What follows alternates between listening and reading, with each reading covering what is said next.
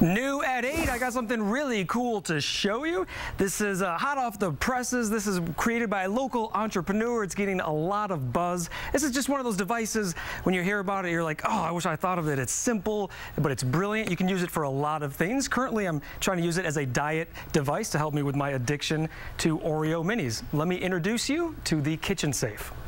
The Kitchen Safe is the world's first time lock container to help you avoid junk food and other temptations. David Krippendorf is the man behind the Kitchen Safe. Right now, I kind of hate him because this is one of those products when you hear about it, you're like, oh, I should have thought of that. Well, it's very simple. You place an item in the kitchen safe, you close the lid, you set the timer, you press the button to activate, and then you're locked out. There's no overrides, no back doors. Once it's locked, you're out. This is a great example of a gadget that can improve a life. We all have our vices junk food, smoking, drinking, technology. It's easy to use. You just spin the dial on the top to set the desired lock time and press down.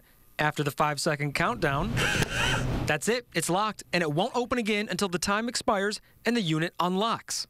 Once it's locked, there's no way to open it, short of smashing it. And it's really sturdy, so you'd have to really work at it with a hammer or something really strong. I think this could be a great tool for parents to help control their kids' gadget use. Lock away their devices while they're doing homework. Or, here's an idea maybe make the whole family put their cell phones in the box during dinner time.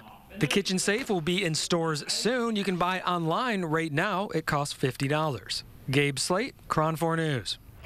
We're getting you ready for the holidays with a special dining and shopping guide right here on KRON 4. It's our holiday gadgets and goodies special coming up Friday night at 9 p.m. Vicki Liviakis and Gabe Slate show you the best holiday eats, treats, and hottest tech gadgets. That's airing right here on Friday night at 9 p.m.